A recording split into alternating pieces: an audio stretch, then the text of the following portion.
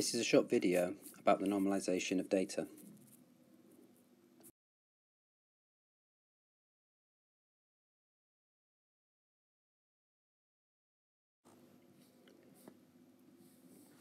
This bar graph just shows four arbitrary pieces of data and for example this may be equal to a thousand this possibly equal to a hundred now what I want to do with this data is I want to probably read it from a file get it from um, some source and I want to be able to plot this maybe as a bar graph maybe as a line graph on a graphics system so if I take a typical 2D line graph I might want my point for a thousand to be over here and my point for 100 to be over here. Okay, so as far as the graph is concerned, I would have a thousand here and around 100 here. It's possibly 0, 0. Okay, which is fine. Now, the problem becomes when I want to actually draw this. Essentially, I'll be doing two things. If I'm doing a graph, then my graph will either be as a system of pixels, so I'm going to do an, a graph here. Okay, and Ah, I will either have defined this to be, say, for example, 200 pixels in that direction and possibly 200 in the x direction also. It would make sense if I take my biggest part of this data, which corresponds to the thousand, to be equal to the largest part of my graph. In other words, what we're going to do is we're going to, when we draw this bar graph, we're going to make sure that it fills the whole of the y-axis. And then correspondingly, I will have my 100 value, which is my lowest value here, about here. And this is 200 pixels. Uh, by scaling this down, uh, this means that 200 should be somehow equal to a thousand, which is a reference back to the data over here. So we're just going to analyze this.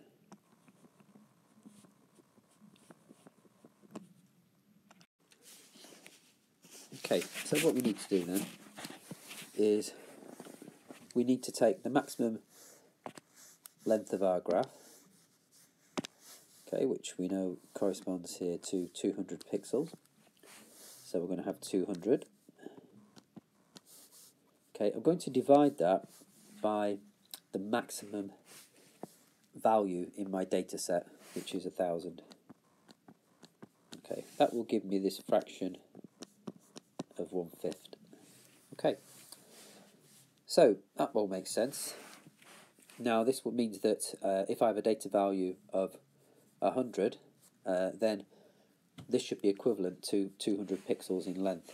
Therefore, the only thing I now need to do is to use my normalization factor and then multiply it by the value, which is from this data set here. So let's see if we can just test this. Okay, just going to test this. Just made some room. Uh, we're going to put our value down, which was one fifth.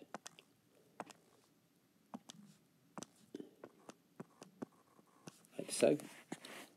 We are then going to take our data set. So let's take uh, let's take a thousand, which we've got here. Okay. I'm going to multiply that by 1000 and of course that equals 200 which agrees with what we're trying to do which is represent this data to fill uh, the whole graph that we have here which is this 200 pixels. We can take our smaller value which is 100 I'm going to take one fifth multiply that by 100 and that is going to be equal to 20 Okay, so we'd expect this in our graph down here, just going to change colour, to give us a value oh, kind of roughly that's going to appear here. Okay, which would correspond to 100, but 20 pixels inside here. Okay. So, and of course, this will work for all the other corresponding data that I've got for these two intermediate values as well. So you can see how it's quite easily to uh, normalize your data to fit within a graph. Now, at the moment, we've been talking about pixels. Of course, this applies uh, exactly the same if you're talking about coordinates uh, of a 2 or 3D system as well. It makes no difference. Uh, the same principle will apply. So, in summary then, how to do this generally. What you first want to do is decide what's how big your graph's going to be. Uh, what represents the uh, maximum on your graph, either in pixels or in uh, Cartesian coordinates. Okay, so I'm going to uh, describe this as just as max length, for example. What you then want to do is divide that by your largest value of your data set.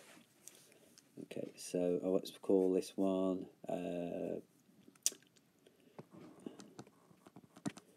max V for the data set. Okay, this will give you a normalization factor, which we're just going to call NF. And then when you want to calculate uh, how big a line needs to be, whether it's a bar graph, whether it's an arrow, a length of an arrow you're drawing, for example, then all you need to do is multiply your normalization factor by that value. Okay, and this will give you the length of that value in your graph.